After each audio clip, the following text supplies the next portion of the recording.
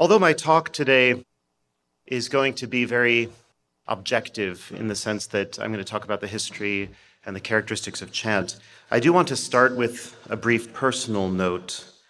Um, chant, for me, it's been hugely influ- influential in my own life as a Catholic. Um, as I talk about at greater length in the book that Father was just holding up, Tradition and Sanity, um, I discovered chant in high school as a junior, I think I was in high school. I was involved in the music program at my all boys Benedictine high school, and unfortunately, the monks there were rather progressive and they didn't sing chant anymore. Um, so I discovered one day in the music library a bunch of old copies of the Graduale Romanum. It's this nice black volume published in the 1940s um, that has all of the chants, the, the propers and ordinary of the Mass, according to the monastic liturgy. And I asked my music teacher what this was, and he said, Oh, well, that's the chant book that the monks used to use. I said, Are they using it? He said, No. Could I have a copy?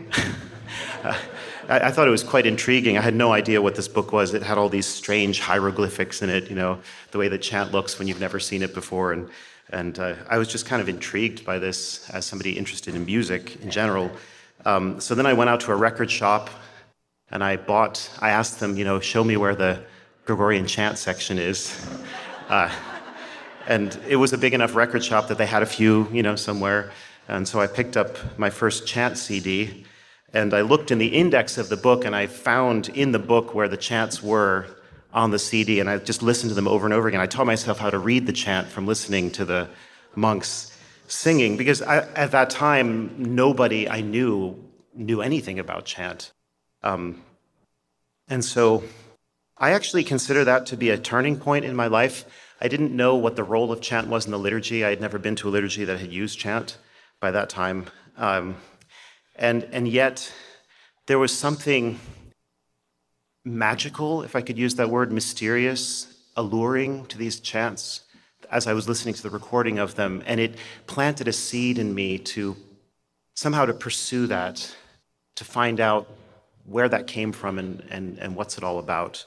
So I actually kind of date that as the beginning of my conversion or reversion or whatever you want to call it to a more traditional Catholicism. Um, then I just want to mention that fast forwarding later, my wife and I are blessed with two children my son Julian, some of you have met him, um, and my daughter Rose. Uh, and when each of them was born, and I received the baby in my arms for the first time, I started singing chant to them. Um, and I remember very distinctly with Julian, I started with the Salve Regina, and I went through all the Marian antiphons, the Regina Caeli, the Ave Regina Caelorum and the, the um, Alma Redemptoris Mater. And every time they would fuss at night, I would just sing chant to them, and it would always calm them down. Um, so now my son Julian is discerning his vocation at a Benedictine monastery in Ireland. Um, it's a monastery called Silverstream. Maybe some of you have heard of it, uh, where they spend about five hours a day chanting the praises of God. And um, I attribute that much more to God's grace than to anything I did, but certainly I think it didn't hurt to hear chant from the moment they were born. So.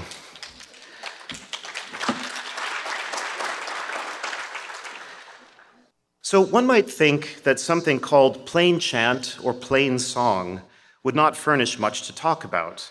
After all, its very name says it's plain and it's chant.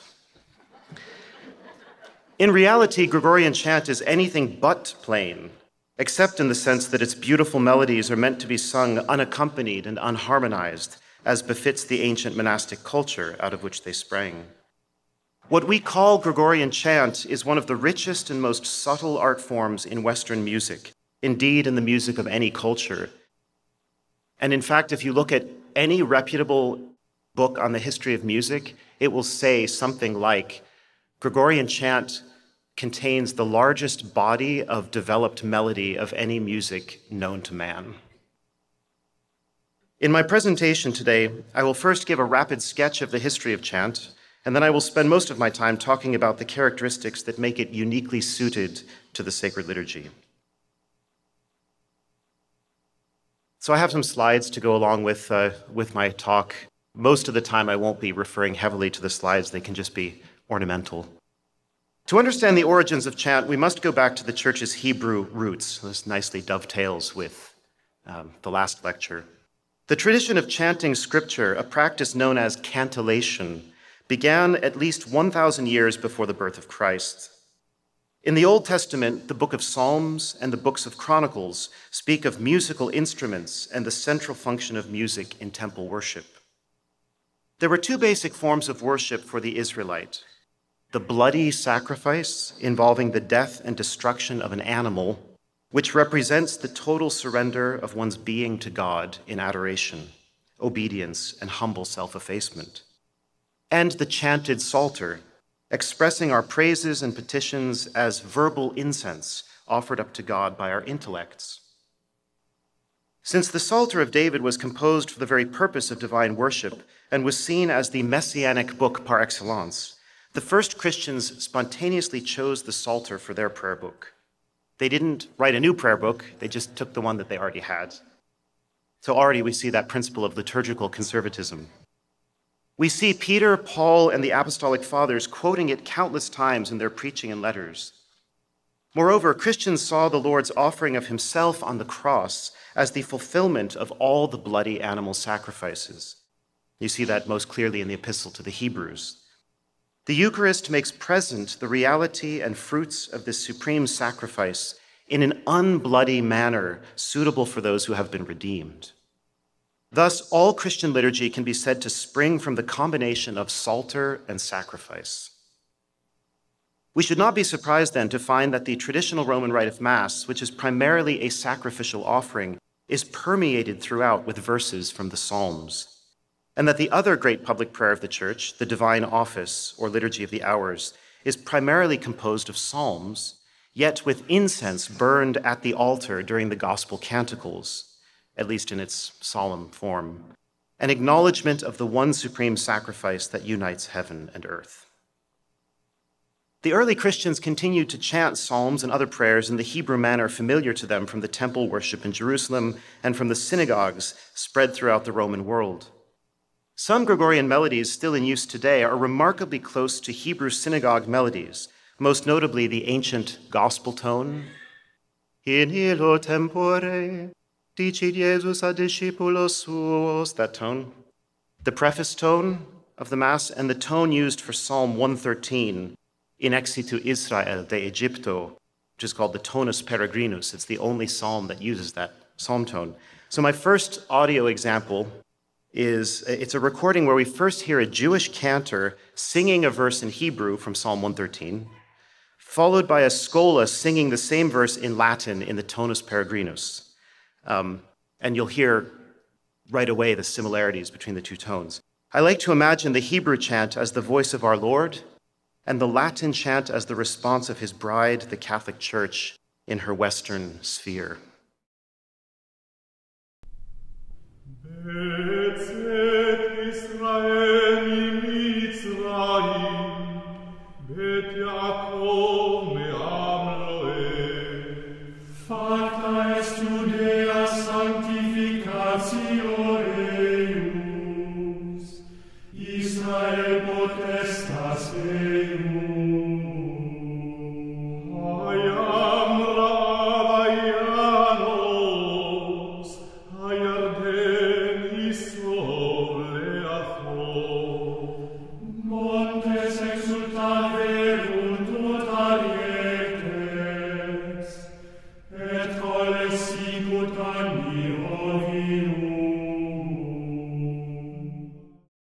wonderful to see that parallel there.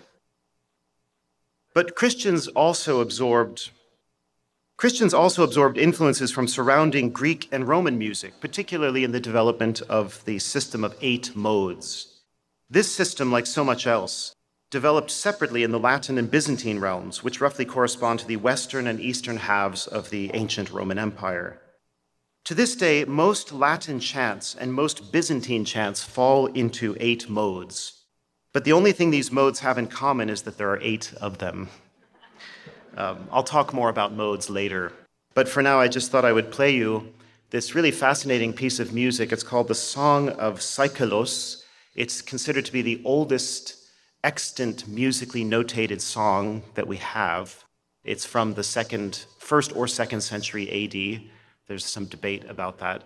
And it was carved into a sarcophagus um, by a Greek. It's a Greek song. Uh, and they, they, they, don't, obviously, didn't use this modern musical notation because that wasn't invented until many, many centuries later, um, really in the Middle Ages. Uh, what they used was they used a system of letters to represent notes. So the scholars have been able to reconstruct. course,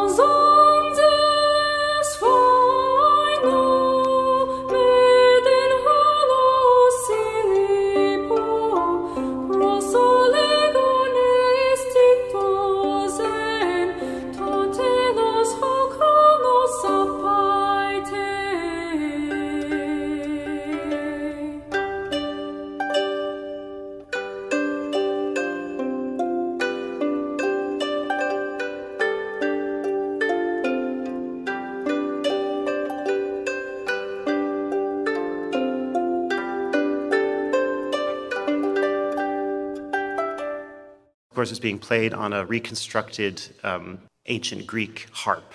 So it's probably a pretty good um, impression of what the music would have been like in the pagan circles um, in, in ancient times. And what I find fascinating about the melody is that the melody itself, if you kind of slow it down, the way that uh, it, you can you can almost hear a Gregorian chant melody in that, like puer natus. Puer natus est nobis. That you can see. So it's the Hebrew and the Greek Roman influences. Chant developed prodigiously in the first Christian millennium. Over time, not just the Psalms and their antiphons were cantilated, but also the scripture readings, orations, intercessions, litanies, instructions. For example, Flectamus genua, right? let's kneel. It's a very simple thing to say, but it was sung. And in general, anything meant to be proclaimed out loud. By the time we reach Pope St. Gregory the Great, who reigned from 590 to 604, a body of chant already existed for the sacrifice of the Mass and the daily round of prayer, the divine office. Even as he gave final form to the Roman canon, which is the defining trait of the Latin Rite, St. Gregory organized this musical repertoire, as a result of which the chant ever afterwards has been honored with his name, Gregorian. The core of the Gregorian chant repertoire dates to before the year 800, the bulk of it was completed by the year 1200. It deserves mention that the chant of the Roman Church was not the only chant being used in the Latin speaking sphere of the Catholic Church. There was also the Ambrosian chant of Milan. There's a picture of St. Ambrose there at the top. The Mozarabic chant in Spain and the Gallican chant of Gaul, modern day France. As different as their melodies and particular texts were, these regional types of chant shared the exclusive use of the Latin language and the system of eight modes. Due to Charlemagne's centralizing ambitions and his allegiance to the papacy, the Roman Rite was brought into the Frankish Empire. During its transalpine sojourn, many Gallican elements were incorporated into the Roman Rite. Later on, these migrated back to Rome. The medieval Roman liturgy was, therefore, an amalgamation of ancient Roman and Gallican sources. This is why the, the, high, the highfalutin scholars like to call it the Romano Gallican liturgy uh, instead of just the Roman liturgy. And we get a lot of important things from Gaul, such as the procession with palms on Palm Sunday. That was not originally part of the Roman liturgy, but part of the Frankish liturgy, and it came back to Rome. Another example would be saying the creed or singing the creed at Mass was also done last in Rome. It was done everywhere else first, and finally the Romans capitulated and decided to sing it as well. Since chant was the custom made music that had grown up with the church's liturgy, the chant traveled wherever the liturgy traveled. No one dreamed of separating the texts of the liturgy from their music. They were like a body soul composite or a happily married couple. Or you could compare the chant to the vestments worn by the priest.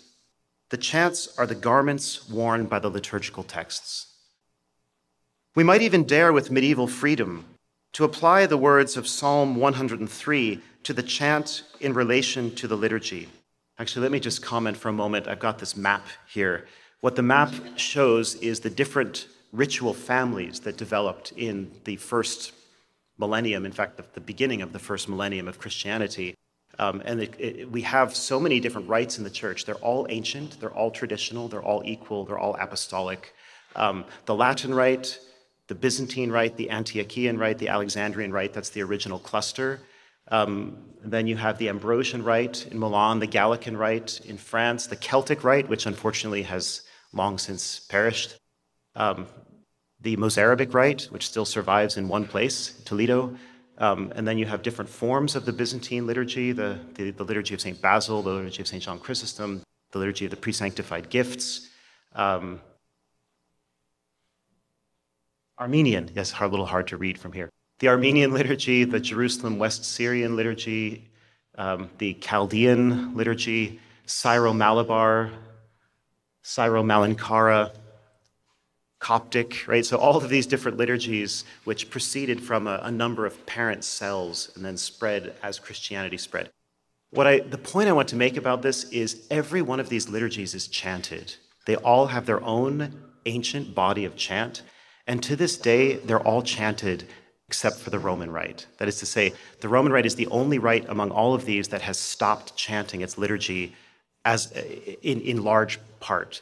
And that, I think, is a serious um, aberration for reasons that will become apparent. So we need to get back with all these other rights, doing what we should be doing. So we might dare, with medieval freedom, to apply the words of Psalm 103 to the chant in relation to the liturgy. Thou hast put on praise and beauty, and art clothed with light as with a garment. In the transfiguration of Christ, there were two elements the mortal body of our Savior and the radiance of glory he allowed to shine through his body from a soul already enraptured with the beatific vision. In some ways, the chanted text is a transfigured text, radiant with an otherworldly glory that reminds us of our true home. Gregorian chant flourished in the period circa 600 to the mid 16th century. The Council of Trent, which met from, you can see, 1545 to 1563, reaffirmed the place of chant in the liturgy and discouraged the use of excessively complex polyphonic music, especially when it was based on secular tunes. Yes, we've had this problem before. Nevertheless, there began to be a decline in the use and quality of chant, caused in part by the increasing splendor, variety, and quantity of instrumental and polyphonic music. Monteverdi's Vespers of the Blessed Virgin Mary and Handel's Carmelite Vespers, you're seeing Monteverdi and Handel there, would be two fine examples of the kind of music that supplanted simpler forms, at least where patrons could afford it. The accent on splendor was particularly emphasized by the Counter Reformation, which coincided with the Baroque phase of the fine arts. This, mean, this meant that, to some tastes, chant was just a little too plain for the perceived needs of the moment. It continued to be used, of course, but it was sidelined. Old melodies became abbreviated or corrupted. Neumes, that is the little groups of notes, were forced to conform to a regular beat like the metered music of the day, and new chants were written that lacked the inspiration and savor of the originals. One who picked up a graduale in Germany in the 19th century, and here's a page, a sample from such a graduale, would find melodies stripped of their melismas or melodic embellishments so that they could be chanted as quickly as possible, and the choir could get on with the real music in parts or with instruments. This utilitarianism, right, which was ordered to just getting the liturgical text out of the way as quickly as possible so that something else could be performed, took away the chief beauty of the chants in their original form and spoiled the internal balance of the parts of the liturgy. Restoration of such an immense treasure of the church and such an integral part of her solemn liturgy was bound to come sooner or later. It came through the combined efforts of a monk and a pope Dom Prosper Guéranger, uh, 1805 to 1875, founded Solesmes Abbey in 1833 and built it up into a powerhouse of monastic observance, including the fully chanted divine office and mass. The monks of Solesmes pored over hundreds of ancient and medieval manuscripts, in their work to restore the chant's distinctive melodies and rhythms. That's Solesmes Monastery down there at the bottom. Now, this lecture could rapidly become five lectures, so I have to be really careful not to spend too much time on any one thing. But I do want to point out that what we think of as the notation of Gregorian chant is a late development. It's a medieval development we call square notes. Um, what chant looked like originally was this. Okay, so what you had was uh, you had liturgical books in which the text, in this case a gradual from the Mass, was written out, and then little um, little neumes, as the, to use the technical term, little signs were written above the syllables, reminding the cantors or the schola of a melody that they already knew. So this is a mnemonic device. It's not actually musical notation the way we think of it. What it's telling them is where to lift their voice, where to go down, how many pitches to go down. So it's, it's a quasi musical notation. Um, and the monks who sang this and the clergy canons who sang this music day in and day out, they would be able to look at this and say, "Oh, I remember that chant. That's how it goes." Right, so here's the.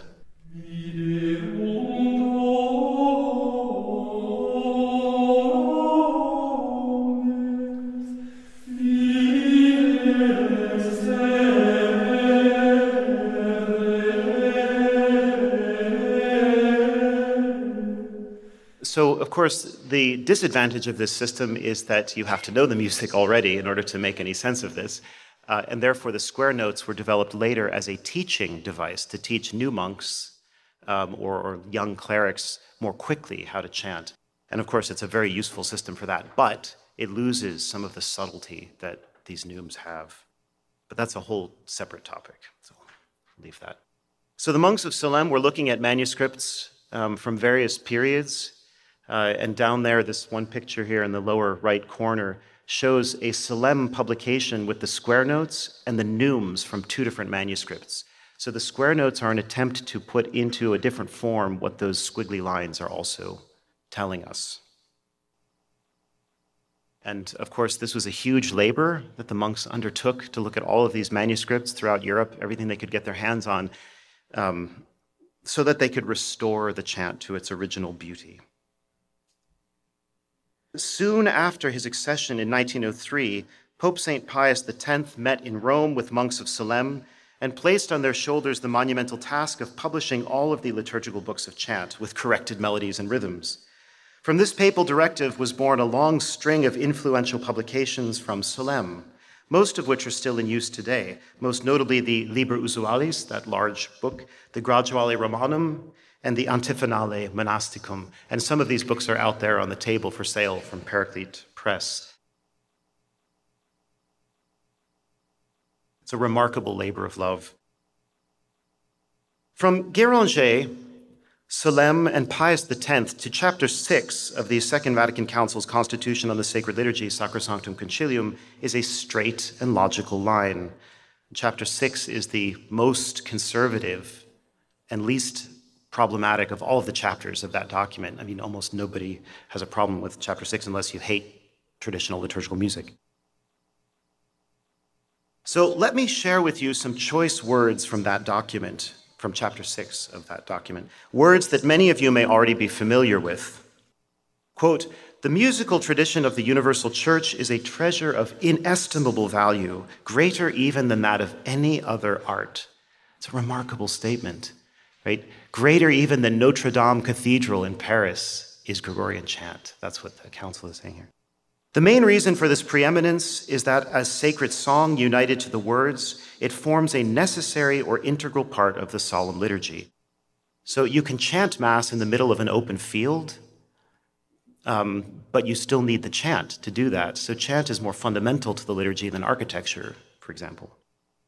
Accordingly, the Sacred Council, keeping to the norms and precepts of ecclesiastical tradition and discipline, and having regard to the purpose of sacred music, which is the glory of God and the sanctification of the faithful, decrees as follows. And among the things it decrees are these Liturgical worship is given a more noble form when the divine offices are celebrated solemnly in song. The treasure of sacred music is to be preserved and fostered with great care. Choirs must be diligently promoted and then the, the real kicker The Church acknowledges Gregorian chant as specially suited to the Roman liturgy, with the result that, other things being equal, it ought to be given the foremost place in liturgical services. But other kinds of sacred music, especially polyphony, are by no means excluded from liturgical celebrations so long as they accord with the spirit of the liturgical action. That's Vatican II. Now, I have to say that the first time I read these words many years ago, I was dumbfounded. They corresponded to nothing whatsoever that I had ever experienced as a Catholic growing up in America in the 1970s and 1980s, attending a church with purple carpets, Star Trek lighting, and heavily amplified singers, where the gold standard was On Eagle's Wings. The original liturgical movement out of which these stirring words of Sacrosanctum Concilium came was devoted to restoring and recovering the richest and most beautiful traditions of Catholic prayer, not to abandoning them and replacing them with second or third rate folksy substitutes. An explosive combination of fantasy antiquarianism and a craze for aggiornamento or modernization effectively burned down the house of Catholic worship obliterating chant from the lives of Catholics. The good news is that a slow process of rebuilding here and there, and here in particular, has brought back Gregorian chant from near extinction to a moderately flourishing condition again. In any case, chant will never die because it is perfect liturgical music. And whenever this fact is rediscovered, people fall in love with it all over again. Now, the Council Fathers offered no explanation of why Gregorian chant is the music proper to the Roman Rite, or why, more broadly speaking, ancient chant is proper to the celebration of the liturgy. Were they simply taking it for granted? That might have been naive of them. It goes without saying that it cannot be taken for granted today, at least in the West. My goal in the second part of my talk is to provide a rationale for the consistent and predominant use of Gregorian chant in the Roman Rite and any of the other Western rites. Before I go into the eight special qualities of chant, I would like to tackle a more basic question. Why do we sing our liturgical texts? Why not just speak them? In all religions of the world, we find the chanting of sacred texts. This universal practice derives from an intuitive sense that holy things and the holy sentiments that go along with them should not be talked about as ordinary everyday things are, but elevated to a higher level through melodious modulation or submerged into silence. Authentic rituals, therefore, tend to alternate between silences and chanting. Both of these may take place by themselves or in conjunction with symbolic actions. That is to say, you could have a, a, time in the liturgy when chanting is occurring and nothing else, um, or you could have a time when chanting is occurring while something else is being done, like the, off- the offertory rite. The contrast between singing, which is human expression at its highest, and silence, which is a deliberate withholding of discourse, is more striking than the contrast between speaking and not speaking. The former is like the rise and fall of ocean waves, while the latter seems more like switching a light bulb on and off. So, this is the reason why silence works so much better in complementarity with chant than it does simply with speech. Speech and silence are like a light switch, song and silence are like the rise and fall of waves.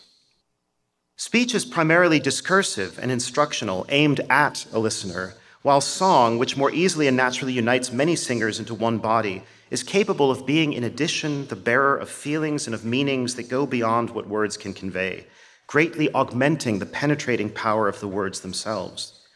We find this especially in the melismas of chant, the lengthy melodic elaborations on a single syllable that give voice to inner emotions and aspirations that words cannot fully express. Here's a wonderful example of a melisma filled chant from the Paschal season the offertory chant for Easter Thursday, which takes a verse from the Old Testament, from Exodus chapter 13, and applies it to newborn Christians. In the day of your solemnity, saith the Lord, I will bring you into a land flowing with milk and honey. Alleluia.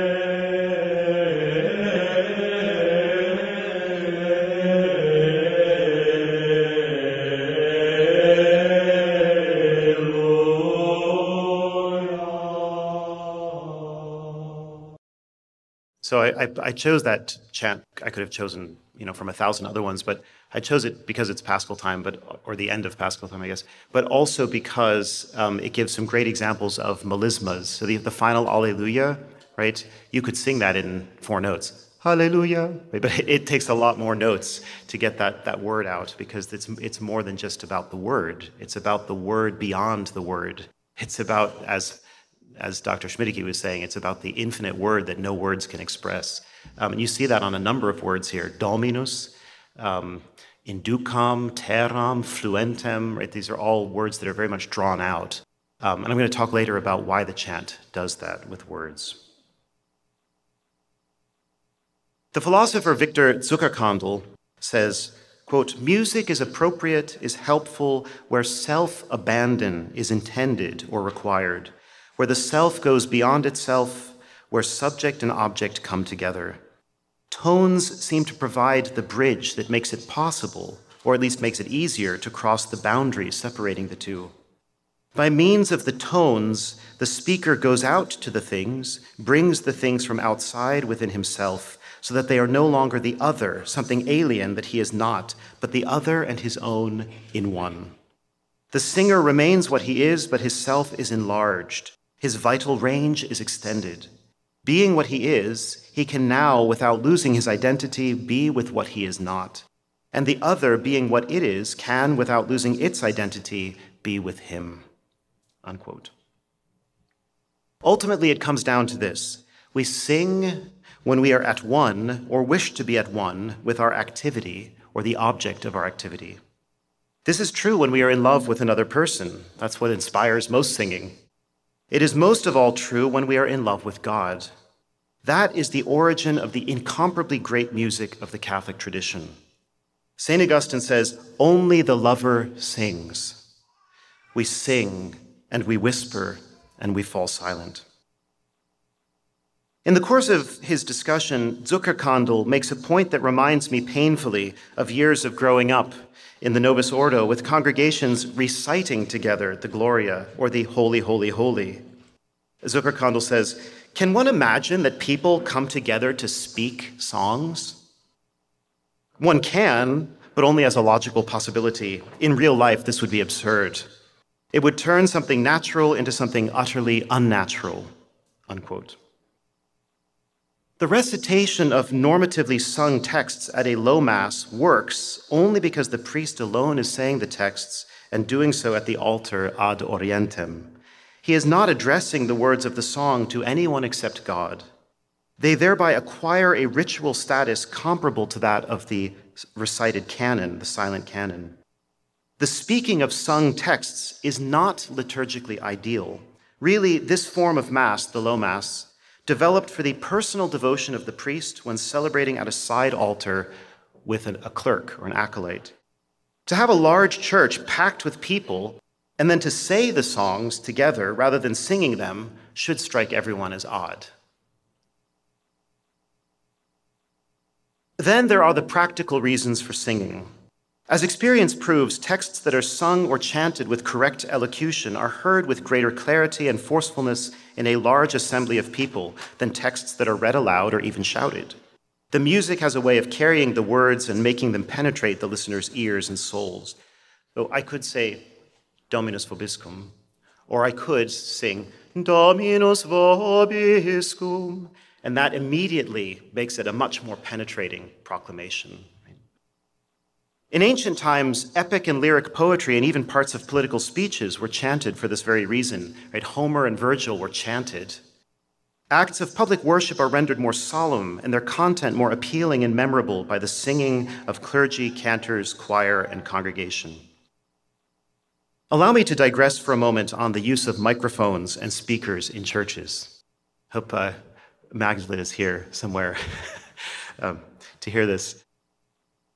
Electrical amplification is very helpful in a situation like this, giving a lecture, or in an airplane, uh, in an airport, where you need to hear your name called or the gate called. But electrical amplification is unnecessary when architects build churches that resonate properly and liturgical ministers learn how to sing out. A well built church with well trained singers has absolutely no need of artificial amplification. Moreover, contrary to one of the key assumptions behind the recavation of our rites, not everything in the liturgy has to be seen or heard by everybody. Obviously, one can't imagine a modern day airport without loudspeakers, but when the same technical, pragmatic, impersonal, and unfocused type of sound production invades churches, it is a tragedy.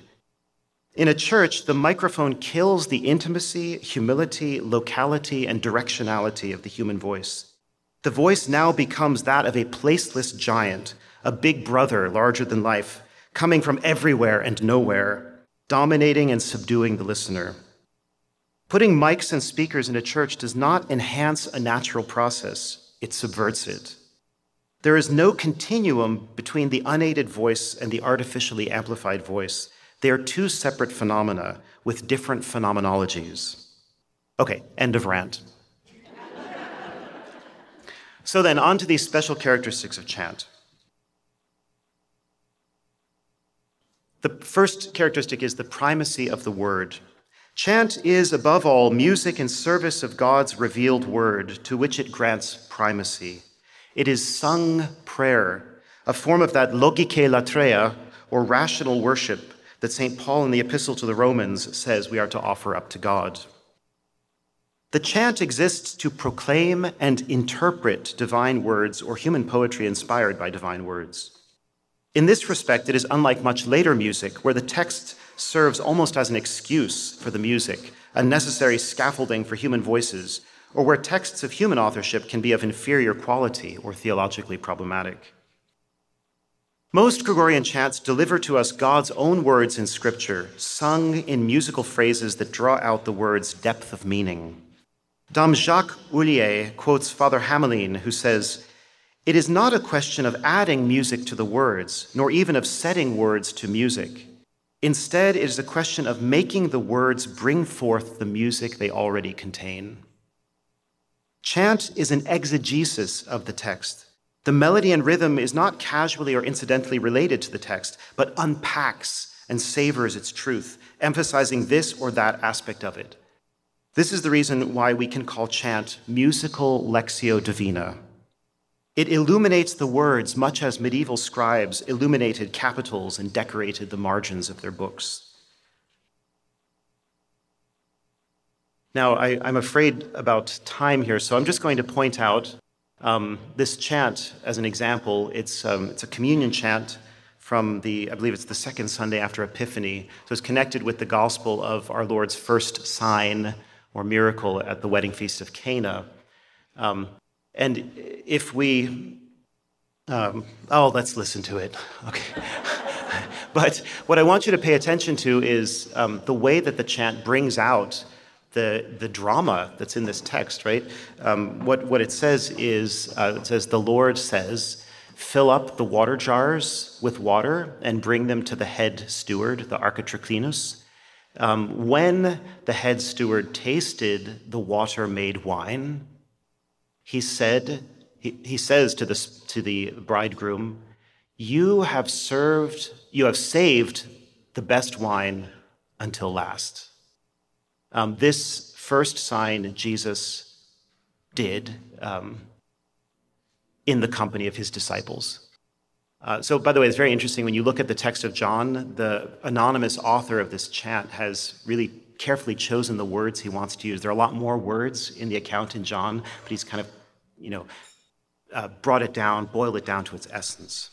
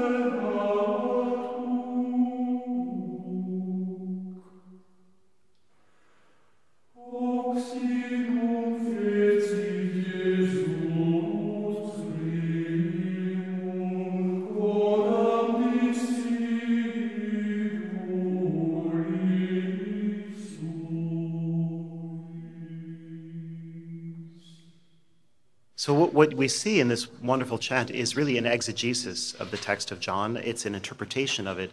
Um, and, and it's even, uh, I often find this with chants that there's, there's sometimes even a bit of word painting going on. It's very subtle. But in this chant, for example, when they're filling up those water jars, you know, talk about filling up the water jars, uh, it starts with a lower, lower pitches, almost like the action of filling up the water jars and then they're brought to the to the head steward, and the melody climbs almost like a procession, right? And then he tastes it, cum gustasset, and the melody does this little funny turn, like whoa! He just tastes it, you know, and, and he's like, what happened there? It goes from the T to the te, makes a neat little sh- shift. Um, and then he exclaims, right, you have saved the best wine for last, and it really just soars at that point, like he's in ecstasy right now. It's perfect, perfect.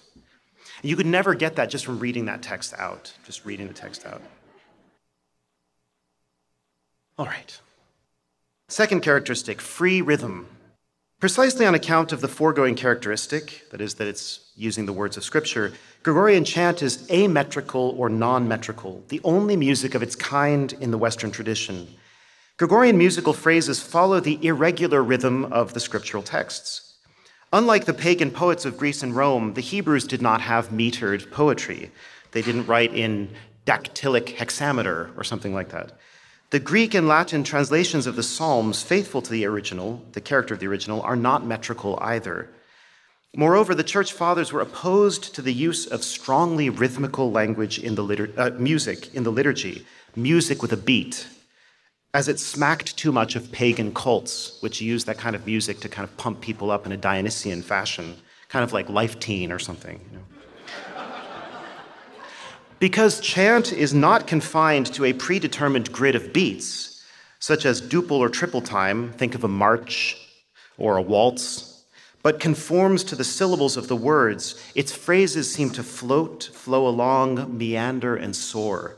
It breathes rather than marching ahead. It moves with a wave like undulation or like birds circling in the sky. Non metricality and modality are the two characteristics that most obviously distinguish chant from all other music. A large part of the magic of chant is caused by its unconstrained fluidity and freedom of motion, which seems to break out of the hegemony of earthly time and the constraints of the flesh represented by the beat. Father Mosier talked about this a little bit yesterday. So. In the old Solesmes method, one can illustrate the non metricality of chant by counting groups of twos and threes, the so called binary and ternary groupings. So, for, for example, in this uh, introit from Advent, um, one, two, three, one, two, one, two, one, two, three, one, two, one, two, three, one, two, one, two, one, two, three, one, two, one, two. Um, so what that shows when you group it in twos and threes is that there isn't a meter. I mean, if you were going to put um, metrical indications in this, it would look like a score by Igor Stravinsky. You know, three four, two four. Two, you know, it could be going back and forth all the time. Right? You can't do it. It's impossible. As criticized as this approach has been, the Solesmes approach of binary and ternary groupings, uh, it's written off as a romantic reconstruction no alternative method has proved capable of equaling the old Solesmes method in lyricism, tranquility of spirit, ensemble unanimity, and liturgical fittingness, let alone pedagogical clarity and ease, which, as a teacher, I can assure you is hugely important. Since these qualities are rather important for us as believers and worshippers, my vote still goes with the old Solesmes method in general, although I do not mind incorporating ideas from the more recent Solesmes school, such as repercussions of notes in a distropha or tristropha, the omission of the vertical epizema, the extension of one note horizontal epizemas over neighboring notes, and other things like that. Now we're really talking, you know, uh, baseball, as they say. Still, it is always my advice that new or large scholas should sing together with the old Solesmes method, while only the cantors or a small schola of picked singers should try to bring in any of the newer uh, insights, paleographical insights, and only to the extent that it produces edifying results. Third characteristic, modality.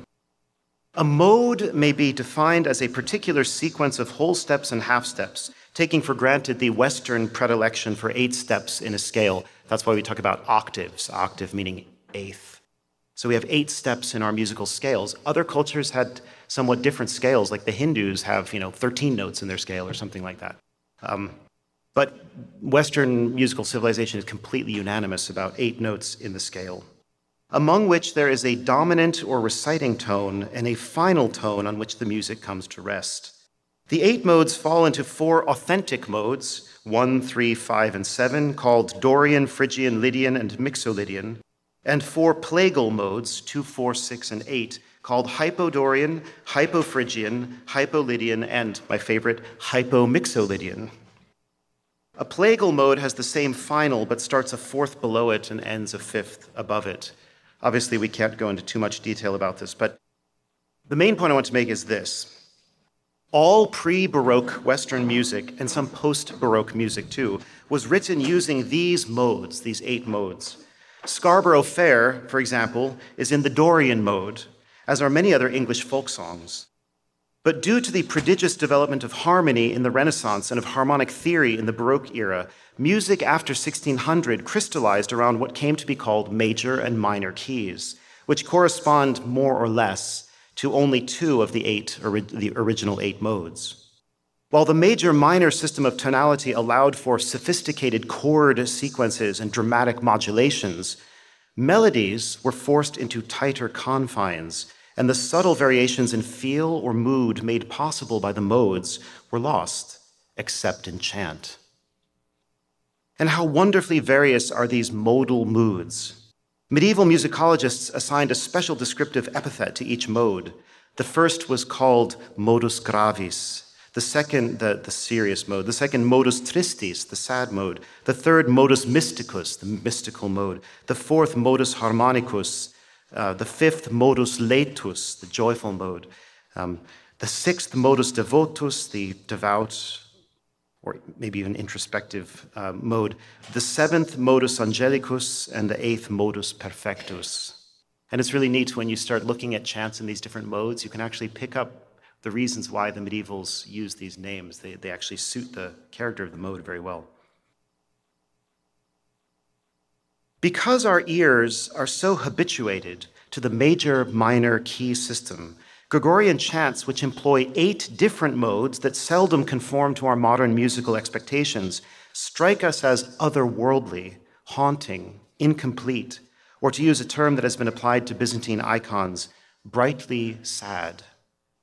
We should rejoice in this fact, which illustrates a general rule. An ancient art form is more not less likely to be associated by a modern believer with the holiness and unchanging truth of God, his strangeness or otherness, his transcendent mystery, the special homage he deserves, and the need for our conversion from the flesh to the spirit, that is, from a worldly mentality to a godly one. As St. Paul says, be not conformed to this world, but be reformed in the newness of your mind. The very differentness of the ancient art form or the medieval art form, which the passing of ages has only accentuated, acquires theological and religious significance. We see the same thing with the use of ancient liturgical languages, silver or gold chalices, ornamented priestly vestments, the wearing of veils by women, and Romanesque or Gothic architecture. See, all of those things were once much more common. They were found much more widely, but as time goes on, they become more and more restricted to the sacred domain. And therefore, they've acquired expressive and impressive power due to their long standing exclusive association with divine worship. In other words, I want to say that we have advantages, in a sense, that medieval people didn't have. Because to medieval people, the, chant, the eight modes didn't sound all that strange. It was pretty much the only music that they ever heard. To us, it does sound strange because we've had hundreds of years of musical development since then. The fourth characteristic unison singing. Because the focus in Gregorian chant is on the Word of God as it gathers us into the one body of Christ, it is eminently fitting that it be sung in unison. That is, everyone singing the same melody at the same time. Now, technically, men and women are singing at octaves. It's not really unison, but it sounds like unison to us because the octave is, is a two to one ratio, and it's, it's, it just, we don't even think about it as a, as a different pitch. We just think about it as unison. Um, as a 1974 document from the Vatican put it, another document that was incidentally ignored by nearly everyone, quote, Gregorian chant will continue to be a bond that forms the members of many nations into a single people, gathered together in Christ's name with one heart, one mind, and one voice. This living unity, symbolized by the union of voices that otherwise speak in different languages, accents, and inflections, is a striking manifestation of the diversified harmony of the one church. Unquote. That's from the introduction to Jubilate Deo, uh, which was a little collection of the minimum repertoire of chant that everyone should know. That's what Jubilate Deo was. The subtle rhythm of chant and the much admired inventiveness and intricacy of its melodies are, in fact, only possible because of this insistence, at once practical and symbolic, on unison singing. Harmonized music, whether Palestrina or Monteverdi, adds splendor to ceremonies, but it involves a certain sacrifice in melodic purity and complexity. While I am passionately fond of polyphonic mass ordinaries and have composed a few myself, I nevertheless believe that there are irreducibly distinct and great qualities in the plain chant masses that make them singularly appropriate to the spirit and letter of the liturgical texts. We can make a few generalizations about the Gregorian chants of the ordinary. So here's um, Kyrie number nine, one of my favorites. The Kyrie, with its melismatic melodies, has the character of intensely pleading for divine mercy its traditional ninefold structure gives it a doubly underlined Trinitarian character. As befits a longer text, the Gloria chants are syllabic or neumatic, that is, each syllable of the text is set to one musical note, or at most a few notes, and full of solemn joy, in keeping with a hymn intoned by angels in honor of the redemption. The credo melodies, I don't have a credo, but the credo melodies are simple and stately, graceful and balanced, perfectly paced for the prayerful confession of the dogmas of faith. Like the Gloria, they tend to avoid melismas except in the final Amen. The chant settings of the Sanctus, hymn of the angels par excellence, are particularly solemn, owing to the proximity of this prayer to the offering of the holy victim on the altar. So we're kind of uh, thinking in terms of chronology of the liturgy. We're coming closer and closer to the great miracle, and that's, and that's reflected in the character of the chants, I believe. The Sanctus often features broad, lofty, noble, soaring, ecstatic melodies. And then finally, the Agnus Dei, a miniature litany that complements the penitential Kyrie, features a tripartite structure. The melodies are focused, imploring, and reserved since they are being chanted in the very presence of the king. Um, so, in other words, the, the, the, fir- the, first four parts of the Mass Ordinary are all pre consecration, but the Agnus Dei is post consecration. So, once again, that makes a difference in the character of the music. It's so subtle, but it's so effective. You don't even need to know this, you just experience it. But when you think about it, you just marvel at it all the more. All right, the fifth characteristic unaccompanied vocalization. To this day, Eastern Christian tradition does not allow instrumental music in the liturgy. That's my little silly thing with the organ. it has clung to the ancient rule that in the temple of God, only the human voice should be heard, the God given inborn instrument of the rational creature remade in the image of the incarnate Logos, Christ, the new song, as St. Clement of Alexandria calls him. While the Western Catholic tradition starting in the Middle Ages was friendlier to the development of both accompanied and instrumental music, and with what magnificent results, it cannot be denied that Roman Catholics have often faced the difficulty of keeping our music sacred, or to put it negatively, keeping the profane out of the temple. As Joseph Ratzinger points out, there have been three major periods of encroaching secularism in church music the century before Trent, The century before Pius X's Tra le that was the, the heyday of Italian opera, and the half century after Vatican II down to the present day. Although this fourth characteristic, the unaccompanied vocalization, is perhaps the least startling, especially since there are other types of vocal music frequently sung unaccompanied, such as Renaissance polyphony, it remains true that the sound of the naked human voice raised up to God in prayer is singularly real, sincere, humble, and focused, and less vulnerable to the kind of distractions that come with the use of instruments, especially when they're played virtuosically, rambunctiously, or just plain loudly. Sometimes chant is quietly accompanied by a modest organ accompaniment, but in my judgment, and we can argue about this later, uh, this is not optimal. People learn over time to sing better, more confidently, and with more satisfaction when they're not leaning on an organ for support. There are other reasons too, but I won't go into those. Few things witness more impressively to the unity, antiquity, and universality of the church than a large congregation chanting the creed together at Mass, demonstrating in action that the church is one, holy, Catholic, and apostolic. Okay, the sixth characteristic the vast majority of Latin chants were composed by anonymous monks, cantors, and canons. We will never know their names in this life. What a healthy corrective to the egotism that often comes with artistic creativity and performance. Chant quenches distinctive personality, both in that we usually don't know its author and in that we cannot shine or stand out in a rock star way when singing chant in a schola or congregation. It works against the desire for show, encourages a submersion of one's individuality in Christ, and makes us act and feel as members of his mystical body. Like other traditional liturgical practices, use of chant strips us of the old man and clothes us with Christ. This process of conversion needs to be gentle and continual if it is to be ultimately successful. It cannot be the result of fits of enthusiasm, emotional highs, or psychological violence. The seventh characteristic emotional moderation. It would be a mistake to say chant is without emotion. The melodies are deeply satisfying to sing and to listen to when well executed. They plumb the depths of joy and exultation, bitterness and sorrow, yearning and trustful surrender. They express many fine shades of feeling. They can even induce tears in one who is spiritually sensitive. However, the emotions in chant are moderate, gentle, noble, and refined. They induce and conduce to meditation, to the flight of the Spirit into God who is Spirit. In this way, chant is well suited to the ascent of prayer, which begins with a symbol or text that we encounter, on which we ruminate, from which desire is kindled, and which, when God favors us, rests in his embrace.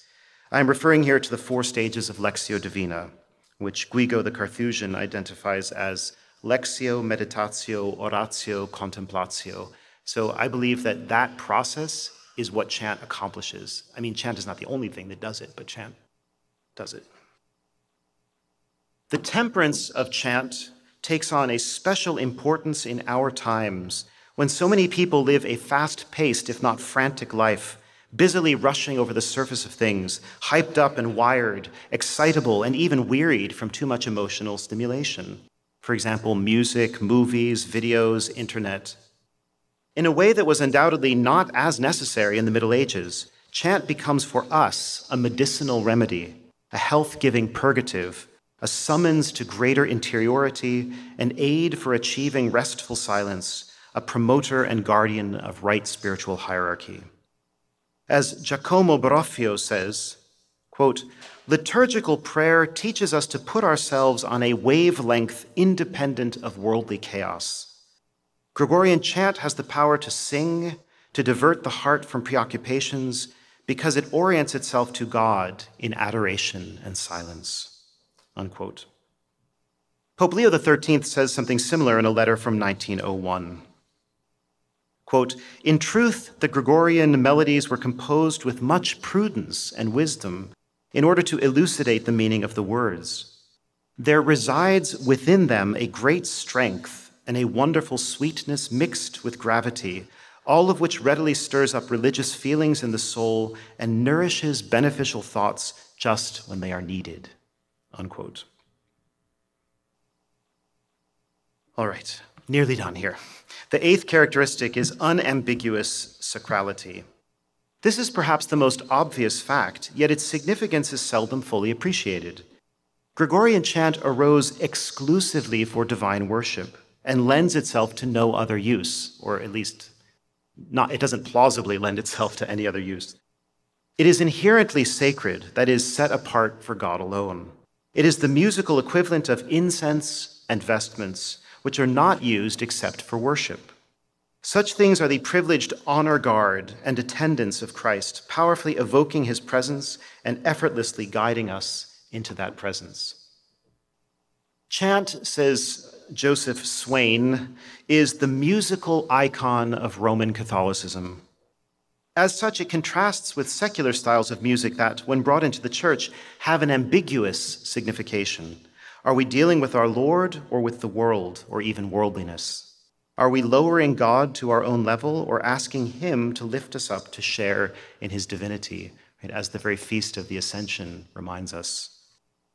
It's often been remarked that the connection between chant and Catholicism is well exploited by Hollywood movie directors who, whenever they want to evoke a Catholic atmosphere, make sure there is some chant wafting in the background.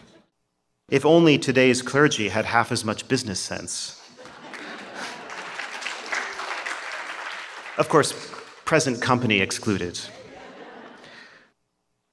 So, to recapitulate, the eight characteristics of Gregorian chant are primacy of the word, free rhythm, modality, unison singing, unaccompanied vocalization, anonymity, emotional moderation, unambiguous sacrality. These characteristics taken together show us that chant is not only a little bit different from other types of music, but radically and profoundly different.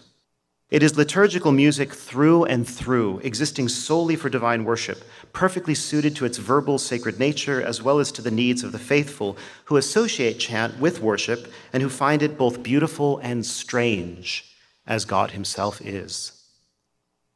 We can see better now why the Second Vatican Council says that chant is a necessary or integral part of the solemn liturgy, why it gives a nobler form to the celebration of the liturgy, and above all, why it is specially suited to the Roman rite and deserves the foremost place in it. When performed in an edifying manner, chant in and of itself accords with the spirit of the liturgical action, which cannot be assumed of any other type of music. It is, in other words, the very definition of what it means to accord with the spirit of the liturgical action.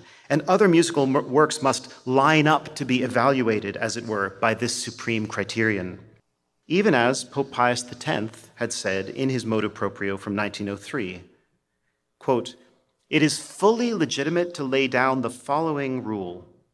The more closely a composition for church approaches in its movement, inspiration, and savor the Gregorian form, the more sacred and liturgical it becomes. And the more out of harmony it is with that supreme model, the less worthy it is of the temple. Thank you for your kind attention.